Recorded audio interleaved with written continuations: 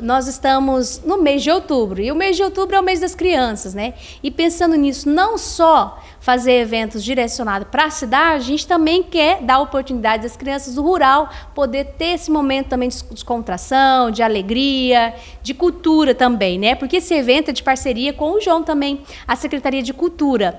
E a gente tá com esse cinema que está indo hoje uma equipe lá para a cidade, para o distrito de Paranorte, para estar tá levando o cinema, onde vai ter pipoca, suco e um filme bem bacana.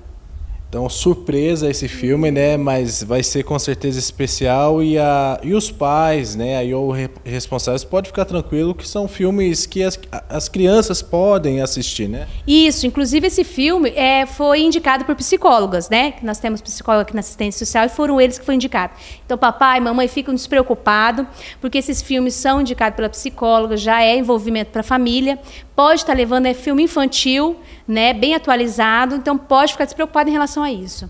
Então fica esse convite especial, né, para todo mundo ali de Paranorte, né, ou regiões de chácaras, fazendas estarem indo lá na onde que vai acontecer, né, e esse convite especial.